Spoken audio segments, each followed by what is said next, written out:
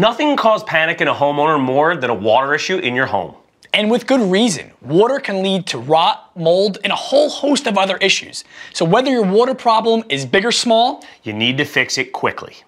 Hard water, which can cause everything from cloudy dishes to clogged pipes, is a common problem that is easy to solve. By installing a water softener that uses salt pellets, like these Morton Clean and Protect pellets, any hard water is filtered using a process that turns the hard water into soft water. As for maintenance, it's just two bags every two months. Installation can be tricky, so you may want to call a plumber for this one. Another common problem you could definitely fix yourself is a leaky faucet.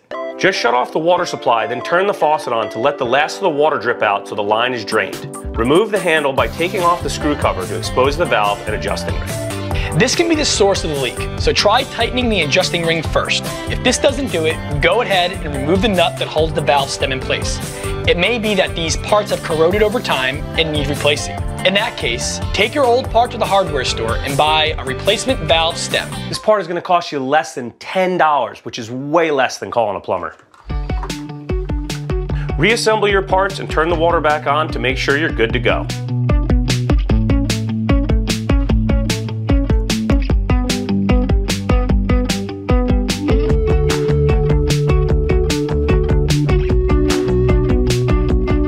Little elbow grease can save you a lot of money. However, some water issues are better left to the pros. If you notice water stains on the walls or ceiling, you may have pipes leaking inside the walls. Which could signal a major problem leading to drywall repair, mold, and other major headaches. Another job better off left to the pros is anything that requires a permit.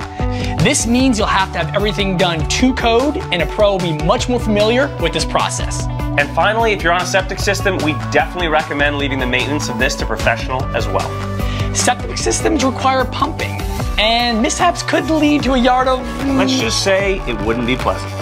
Water issues can range from minor problems you could totally tackle to major headaches that require professional help. So choose the right solution to get any problems you're having under control quickly.